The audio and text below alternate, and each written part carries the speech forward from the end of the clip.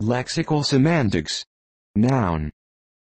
1. Linguistics, the study of how the words of a language denote either things in the real world or concepts.